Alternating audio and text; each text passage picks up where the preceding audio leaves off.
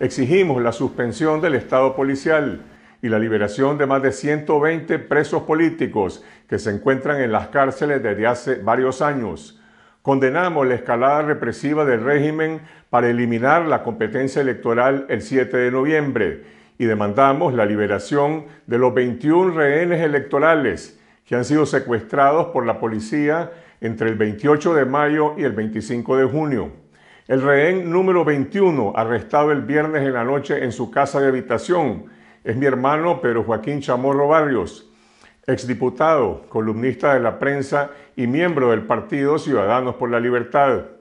Veamos la entrevista que Pedro Joaquín brindó a Tiffany Roberts de Univisión 48 horas antes de ser secuestrado por la policía.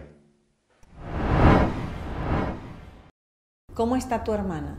Está en una condición bien tratada, eh, dignamente, de aislamiento en su casa, pero eh, el gobierno ha permitido la visita de sus dos hijos y una que otra vez eh, de sus hermanos, Claudia Lucía y su servidor. Pero está en una habitación, tiene, está en su, tiene libertad de moverse dentro de la casa. Ella está dentro de su casa, rodeada de policías, pues, ¿verdad? ¿Pero los policías están adentro no, o afuera? Rodeada eh, afuera, ella está dentro de su casa. No están adentro de su casa los policías.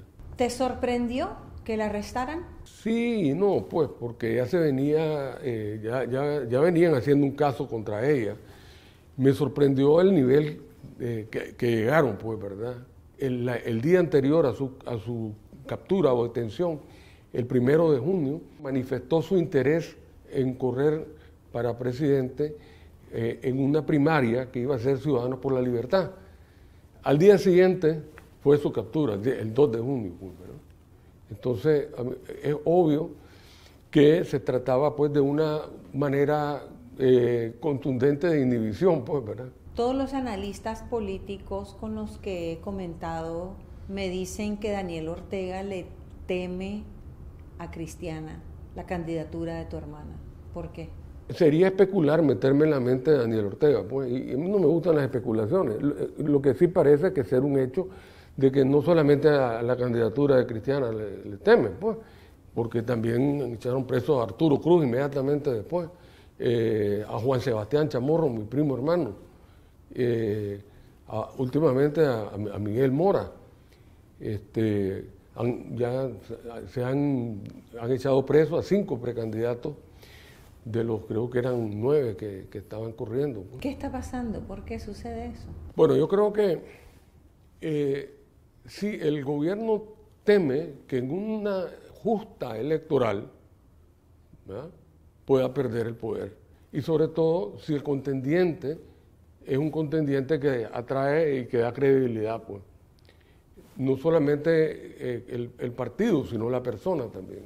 Además de tu hermana, tu hermano menor, Carlos Fernando, periodista, también ha sido blanco del régimen en más de una ocasión.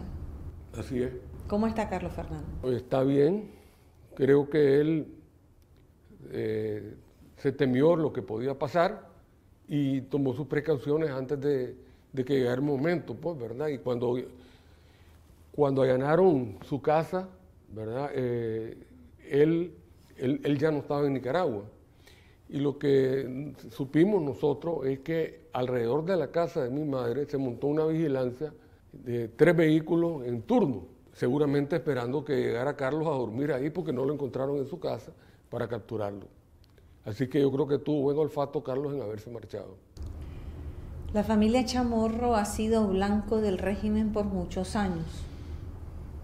¿Qué tiene tu familia que el gobierno no te quiere? También la familia Chamorro ha entregado una enorme cuota de sangre en este proceso, ¿verdad? Eh, mi padre, Pedro Joaquín Chamorro, dio su vida por Nicaragua es reconocido actualmente como un héroe nacional. Los chamorros siempre hemos tenido una vocación de servicio público y eh, que viene de nuestros antepasados. Pues.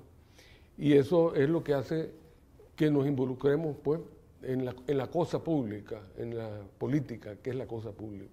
¿Cuál era la importancia del legado de tu madre, de tu mamá, cuando dejó la presidencia de la Fundación Violeta Barrios de Chamorro?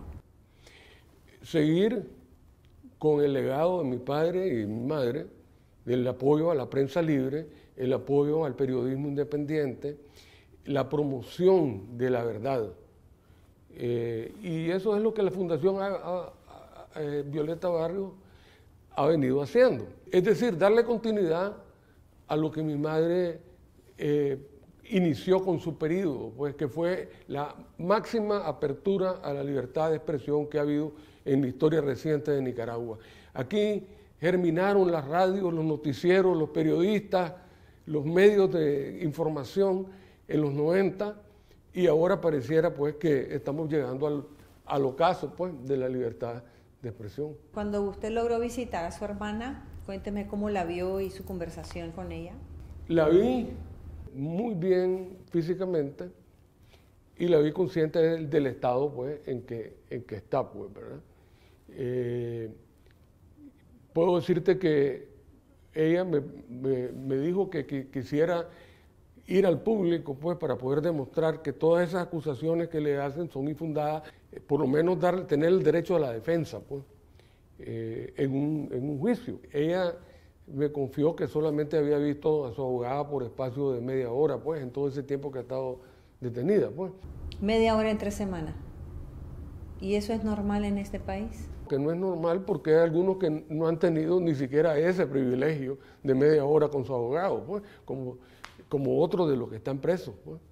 Así que lo normal es el aislamiento total de los que están eh, deteniendo actualmente que no pueden ver a la familia siquiera.